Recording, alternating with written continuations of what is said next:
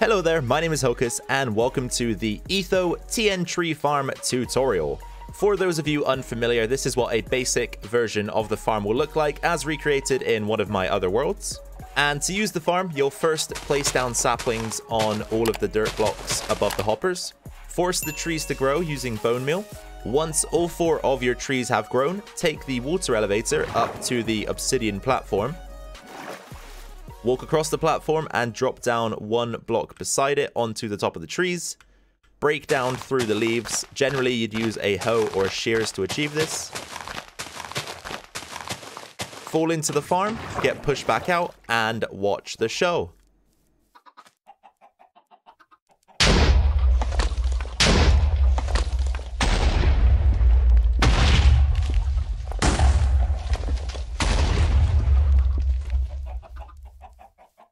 All of your blocks will be collected in this hopper system unless they have fallen atop the others and the rest of the farm is yours to clear out manually. Before we jump into the tutorial, everything you can see on screen right now is required for the build. So at the top here, we have all of our redstone components and miscellaneous blocks and items. In the bottom right, we have our building blocks. I would suggest bringing a bunch of transparent as well as opaque. You'll also need a minimum of two water buckets so that you can create an infinite spring and reuse it over and over again. And then down in the bottom left are the items required to run the farm upon its completion. To kick things off, you'll need to choose a center point for your build. I'm going to use this block here, and generally it's a good idea to mark it by digging it out. Then using some dirt, creates a pattern around your center point like so, and ensure that on the outside dirt blocks, you are placing sticky pistons underneath them. So once again, two dirt, two sticky pistons, two dirt, two dirt, two sticky pistons, two dirt, and then finally two dirt, two sticky pistons, and two dirt to give yourself a pattern looking a little bit like this. From the center point of your farm, you're going to want to dig out a further four blocks outside of the dirt. So center point, one, two, three, four. Center point, one, two, three, four. One, two, three, four. One, two, three, four. You can then proceed to connect these trenches up to form a square around the farm. And with the square dug out, you can then proceed to remove all of the remaining blocks on the inside of it. Once complete, you'll have something looking like this. In the center of the farm, we've already got a 1 by 2 open area. We'll want to dig down a further 4 blocks for a total of 6. So we've got one, two, three, four, five, six. Now, this part is important because you'll need to decide where you'd like to have your water elevator. Mine is going to be on this side of the farm, so whichever side you choose, dig in that direction. From the bottom of this pit, dig out another six blocks. So one, two, three, one, two, three, four, five, six, four, five, six, and then you are able to resurface. From the point at which you resurfaced, count back three blocks. So one, two, and three. And on the third block, using some building blocks, tower up 25 blocks. Once you have your 25 block tall pillar in place, you'll want to build a secondary pillar behind, starting here, and placing a block only every other block. You'll want to continue this until you reach this point right here. And at this point in the build, you should have something looking like this. Come back to the center of the farm and drop into the tunnel that we dug. Go to the end and count back three blocks, one, two, and three. On the third block, dig through the wall on the right hand side and create yourself a four by seven area. So four by two, three, four, five, six, seven. After clearing out the room, you'll have something looking like this. From the small entrance that you dug to this clearing, take out one more block to the right hand side, and then place a repeater down in the space. The repeater should feed into a piece of redstone, which will then connect to a sticky piston facing away from the redstone. Next to the sticky piston, place a block of redstone, and leave a gap before placing down a regular piston facing towards the block of redstone, Behind the regular piston, another piece of redstone dust. In front of everything we've just placed down, you'll want to use one of your building blocks here in front of the redstone and again on the other side in front of the redstone. We'll then have two comparators facing towards those blocks. And on the inside of the comparators, we'll want to have two hoppers that are connected to each other like so. You'll then want to take 30 random items, it can be anything in the game, and place them inside one of the hoppers. The clock will cycle through, so just let that happen, and once it resets, we can continue building. Once the hopper clock has reset itself, come behind it, find the gap here between the regular piston and the redstone block, and dig out four blocks. One, two, three, four. One, two, three, four. Take a left turn and dig out a further five. One, two, three, four, five. One, two, three, four, five. And then come to the end of the tunnel, dig up to the surface, and if done correctly, you should see that secondary pillar that we made earlier. Come back out of the tunnel and lead a trail of redstone from this block here inside of the tunnel to this block here. Up at the surface, come to the secondary pillar, and you may need to break and replace some blocks here. You'll want to create a little redstone torch tower. So block, redstone torch, block, redstone torch, block, redstone torch, replace the block, and then take the torches all the way up the back of the secondary tower. And eventually you'll have something looking like this. This isn't necessary, but I would now recommend sealing up that gap that we made earlier. Back atop the torch tower, we'll want to place a further nine blocks like so. One, two, three, four, five, six, seven, eight, and nine. Attached to those nine blocks, we'll want a seven by three platform. So we'll start here. One, two, three, four, five, six, seven, two, three, to give us something looking like this. Starting on the right hand side of the platform, come out diagonally and up two blocks and then a further one. We'll then go back towards the left side, five blocks, three, four, five, and then two and one. And then back towards the right again, five blocks, three, four, five, and then two and one. And then back five blocks to the left, two, three, four, five, and two and another one. And then for one final time, we'll need another five blocks here. Two, three, four, five. A further two and one. And then at the very top here, we'll just do four blocks to finish it off. And once you have completed this, your pattern should look something like what you see on screen. Facing towards the platform, you'll want to place six dispensers starting here and going up in a column. So one, two, three, four, five, and finally six. Following this, you'll want to recreate this pattern, but with a one block gap in between them. So just continue building exactly the same structure as we built last time. With the secondary pattern complete, you'll have something looking like this. Head back down to the platform and break out two blocks in front of the dispenser. Place a piston in the gap there and a block on top. And you'll want to do this on every level of the pattern. So piston facing inside, block on top. Piston inside, block on top. Piston inside, block on top. Piston, block, piston, and block. Back down to the platform, we'll have a repeater facing away from the dispenser and into the block. And it will be set to 4 ticks, the maximum. And just as a side note, all of the repeaters in this sequence are going to be set to 4 ticks.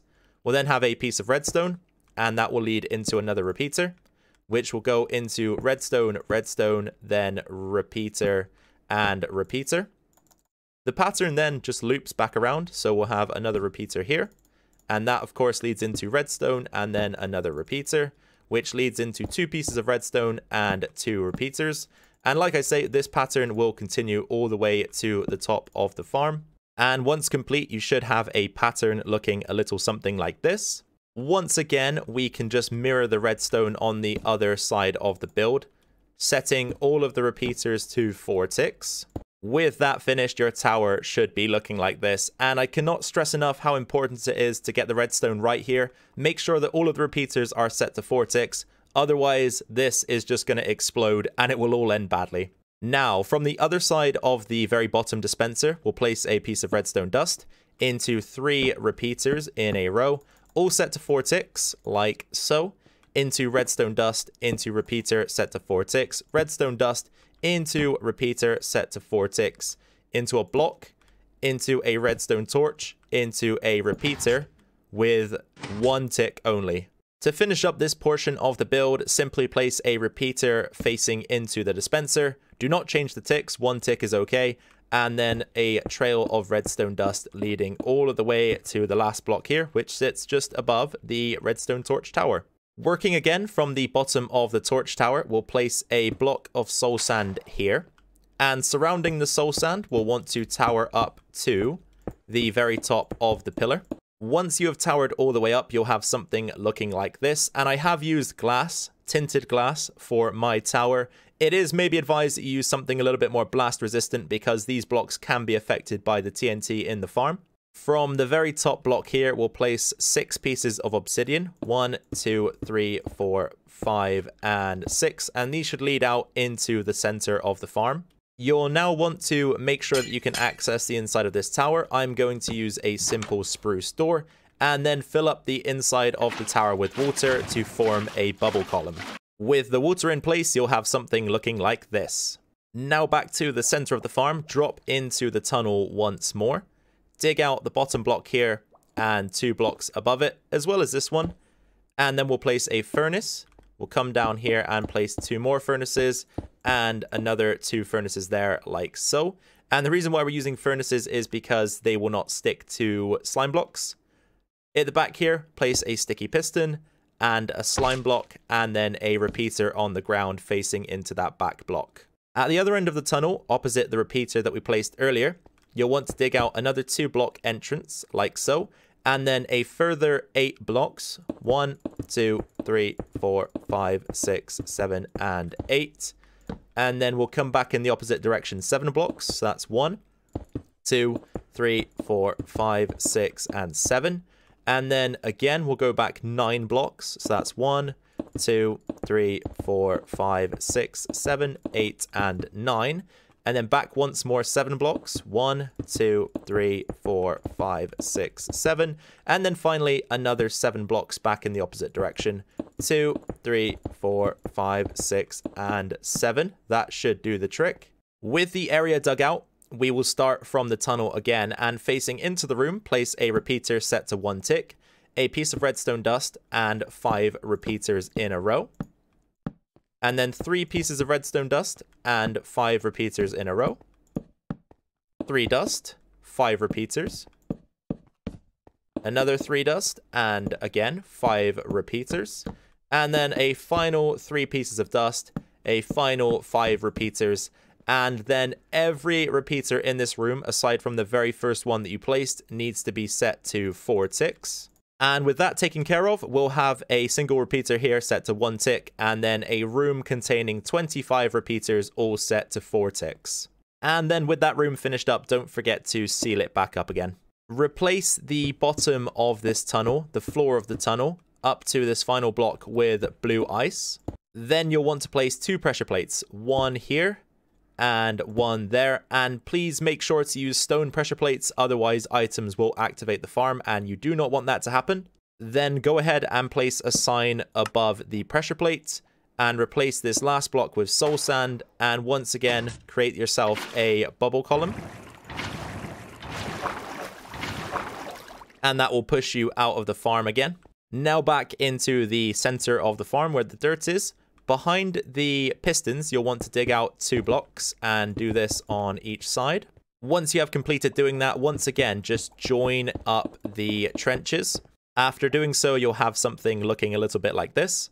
Looking at your farm from this side with the bubble column on the left side of the dirt, you'll want to dig out the two blocks in line with this piston here and place a couple of repeaters.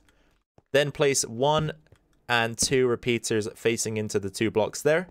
Again, do the same here and one more facing into this block here. On the other side, again, we'll just do one and two. Now we'll need to connect all of the repeaters up with redstone dust. So first of all, place a piece right here and then have it wrap around the side like so and into the back of the two repeaters here. And then take the signal from this block, bring it around and into that block there. On the following side, we'll do something similar. So redstone, redstone, redstone, bring it around the outside into the back of those two repeaters and then finish up in this final repeater here. Here is an aerial view of how the redstone should look. You can pause if you need it for reference. Next up, we'll want to dig out six blocks behind our two repeaters here. So one, two, three, four, five, and six. And again, just to double check that we've hit the right block, we should fall back down into this room here. So once back in that room, we can place a block here and create a small redstone torch tower. So we'll have another block and another torch. And then from this top torch, lead redstone into the back of the double repeater setup. You are then free to fill those blocks back in to hide the redstone. Back up on the platform at the top of the farm, there is something that I forgot to mention earlier in the tutorial that will definitely need to be taken care of. So this block here in the middle of this redstone madness is where the TNT is going to drop, where the piston arm is extended, and you need to ensure that the TNT stays within that one block area. So to do this, take a block of your choice. I'm going to use glass and just create a cylinder around this block and this way the TNT has nowhere to fall but through this gap. Otherwise, it can land on your redstone and just completely tear it to shreds. All right, and then once you're done with that, you should have something looking a little bit like this. Just make sure that there are no gaps in the cylinder and also double check that you didn't place any blocks on the inside of that cylinder. Because like I say, if TNT gets stuck anywhere up here, it's going to be a real pain in the butt to fix. The final piece to this puzzle is to create a collection mechanism. So the way I like to do it is find the side opposite the bubble column, find the central block that lines up with the central gap, and place a hopper facing down. This will be the hopper in which all of your items collect. And then from this point, you can just extend hoppers away from the chain and link them all together. And you can really do this any way you desire. Just make sure that wherever an item falls in the farm, it will make its way to that central hopper that we placed right at the start. Once you're done, you'll have something looking like this, a square area of hoppers. And don't forget to grab one more water bucket and place it in the gap there so that you're able to get out of the farm when using it. And that really leaves us with only one more thing to do, and that is to test the farm on camera to make sure that everything was built correctly. So you'll want to fill your dispensers up with TNT. And with that taken care of, we can go ahead and plant the trees, make them grow, take the bubble column up to the obsidian platform, walk along and drop down through the farm, fall into the farm, get pushed out, take a few steps back in order not to get caught in the blast, and off it goes.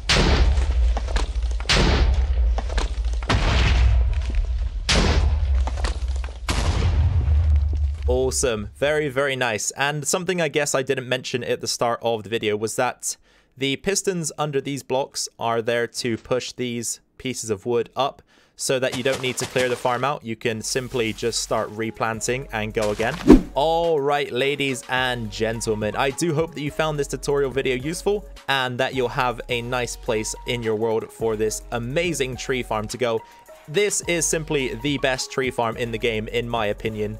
It does require a lot of TNT, which can be rough, but as soon as you got your hands on TNT, this is the way to go, in my opinion. I cannot take any credit for it, as the title suggests, and as I mentioned earlier, this is one of Etho's creations. He's just never made a tutorial for it, so I figured that I would do so, as I was able to recreate this using the video in which he built it. Anyhow, that is going to be all for today. Please remember to drop a like if you did find this video useful. Subscribe if you are new and would like to stay tuned to more Minecraft content. I do also have an LP series and an SMP series that I run on the channel. They're both quite fun. And finally, leave a comment down below if you need any help or have anything else to say about the video. I do hope to catch you in a video in the future, but until then, take care. Bye for now.